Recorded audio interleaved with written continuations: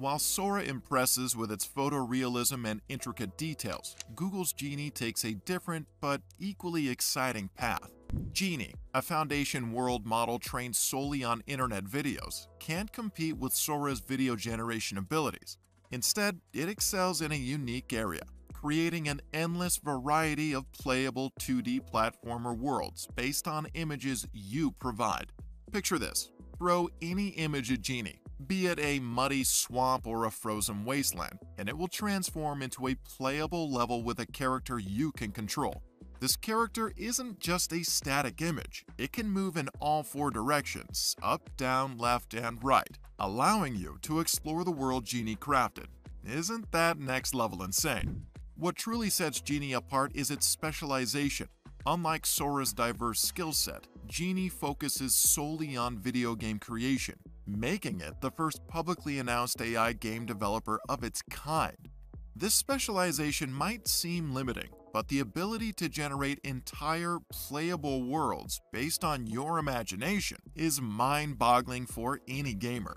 We can all agree that this is a development no one quite expected, especially with the speed at which it arrived. While we might not be fully prepared for the possibilities Genie unlocks, Google DeepMind is clearly pushing the boundaries, bringing the future of gaming closer than ever before.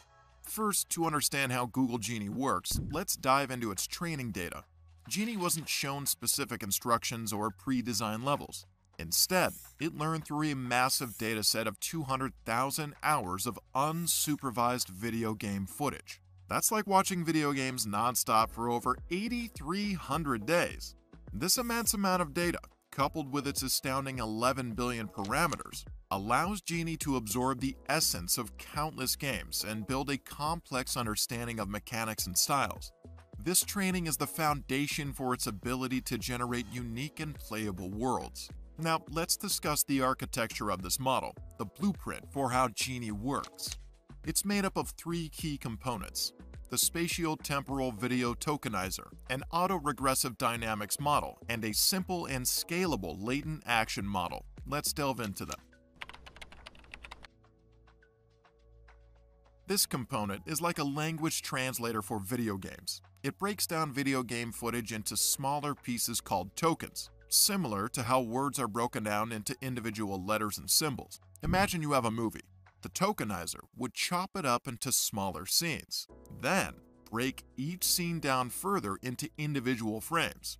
But it goes beyond just frames. It also considers spatial information, meaning it breaks down each frame into smaller sections, capturing the different elements within it like characters, objects, and backgrounds. This detailed breakdown allows Genie to understand the relationships between different parts of the video and how they change over time. In simpler terms, the tokenizer takes video game footage and chops it into small, digestible chunks that the foundation model can understand. The spatio-temporal part just means it considers both the time, frames, and the space, different areas within each frame, when breaking down the footage. The next component is called the Auto-Regressive Dynamics Model. This one's a bit more complex, but let's break it down. Imagine you're watching a video game and trying to predict what happens next. The autoregressive model does something similar. It analyzes the spatio-temporal patterns. Remember how things change over time and space in the video game data learned by the tokenizer. Based on this analysis, it essentially predicts the future of the game world. Think of it like this. You've seen countless levels, enemies, and character movements during training. The autoregressive model uses this knowledge to predict how the game environment will evolve in a new world, creating a coherent and playable experience. So this is where the magic happens. Genie uses its past knowledge to predict and build the future of the video game world you'll explore.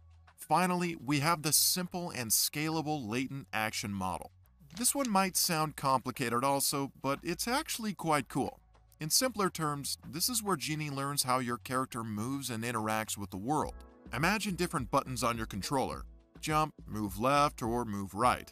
This model understands how these actions translate into movement within the game world.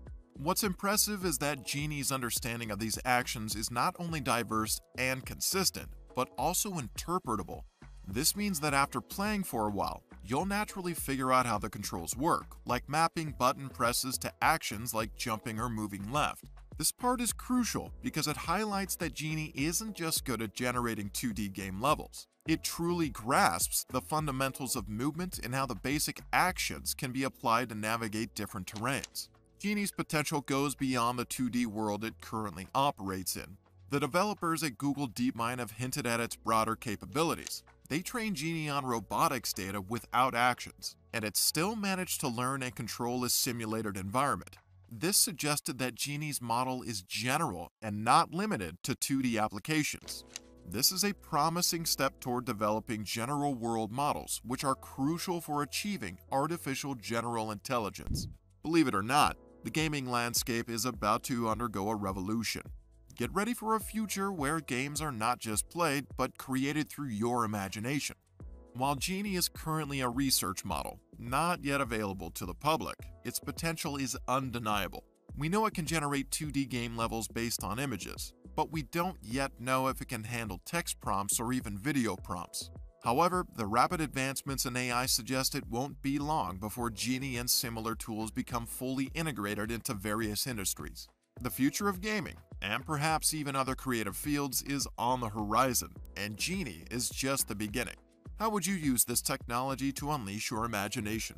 While we wait for your response to that question, we must admit that this is not all gold and roses for every new tech, and there is always a downside to them. What's that saying again? Not all that glitters is gold? Here's what we think.